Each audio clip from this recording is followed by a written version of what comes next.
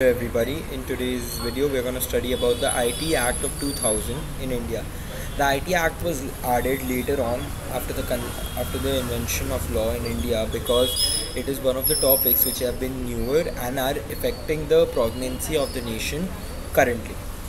It is the some facts about the Information Technology Act are it is the first cyber law approved by the parliament. The act defines following as its object to provide legal recognition for transactions carried out by means of electronic data and interchange other means of electronic communication, commonly referred to as electronic methods of communication and storage of information to facilitate electronic filing of documents with the government agencies and further amend the Indian Penal Code.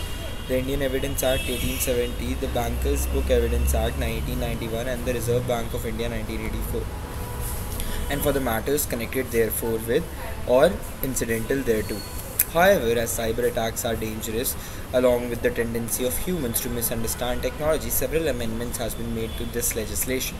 It highlights the grievous penalties and sanctions that have been enacted by the Parliament of India as a means to protect the e-governance, e-banking and e-commerce sectors. It is important to note that IT Act scope has now been broadened to include the latest communication device. Any doubts, please leave them in the comment section.